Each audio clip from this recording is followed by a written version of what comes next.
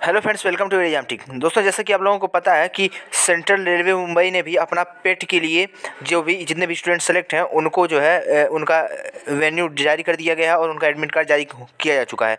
तो दोस्तों, अब इस वीडियो में जानेंगे कि यहाँ पे जो सेंट्रल रेलवे मुंबई की ओर से स्टेडियम बुक किया गया है, नागपुर स्टेडियम, नागपुर में यहाँ पर इनका होने वाला है। तो दोस्तों, इस वीडियो में जानेंगे, इसका पूरा इन्फॉर्मेशन, फुल इन्फॉर्मेशन जानेंगे कि कितने मीटर का ग्राउंड है, स्टेशन से दूरी कितनी है, रहने की क्या व्यवस्था है, कितना गर्मी है, ठंडी है, क्या चीज़ है, सभी चीज़ों के बारे में फुल इन्फॉर्मेशन मिलने वाली है।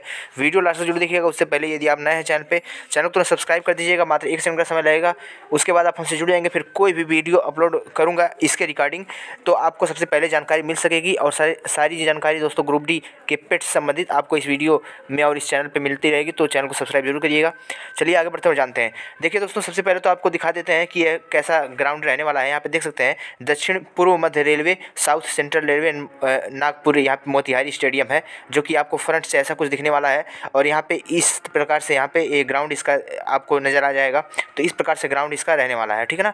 तो ये सेंट्रल रेलवे की का जहाँ पे पेट होगा एग्ज़ाम उसका यहाँ पे ये ग्राउंड है।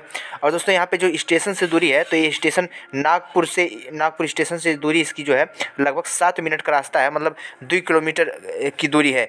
दो किलोमीटर मात्र, दो किलोमीटर की दूरी है तो मतलब आपको जो है, जो आपके लिए नज़दीकी स्टेशन रहेगा, वह नागपुर जंक्शन ही रहेगा। नागपुर जंक्शन से आप जो है, आसानी से यहाँ पे पहुँच सकते हैं। और जहाँ तक रहने की व्यवस्था के बारे में बात की जाएगी तो रहने की व्यवस्था दोस्तों यहाँ पे स्टेशन पे भी व्यवस्था आपको मिल जाएगी। अब बाकी अगर जो आप होटल वगैरह बुक करना चाहते हैं तो आपको होटल वगैरह भी मिल जाएगा, क्योंकि नागपुर शहर में ही यह स्थित है तो नागपुर शहर में आपको निश्चित तौर से होटल वगैरह की अच्छी व्यवस्था हो जाएगी।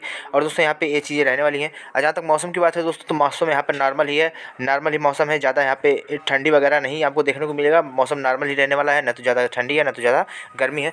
जहाँ तक बात करेंगे यहाँ पर ग्राउंड की तो ग्राउंड दोस्तों यहाँ पे, चूँकि आपको पता है कि ग्राउंड रेलवे की तरफ़ से बनाया जाता है तो अधिकतर जो ग्राउंड रखा जाता है, वह ढाई मीटर का ही रखा जाता है। बहुत कम ही जगह पर यहाँ पर तीन सौ तैंतीस मीटर का ग्राउंड देखने को मिलेगा। बाकी यहाँ पर जहाँ तक चांसेस है कि 250 मीटर का ही ग्राउंड ये लोग रखने वाले हैं। क्योंकि दोस्तों यहाँ पे ग्राउंड के आसपास में वहाँ पे 100 मीटर का रेसिंग भी कराना होता है। तो ग्राउंड के हिसाब से ही यहाँ पे जो है व्यवस्था की जाती है। तो आप चांसेस ज़्यादा यहाँ पे हैं ढाई सौ मीटर के ही ग्राउंड रखने की। बाकी यहाँ पे जो भी अपडेट निकल के सामने आता है तो आपको चैनल पे अपडेट कर दिया जाएगा। फिर मिलेगा अगली वीडियो में तक लीजिए जय भारत।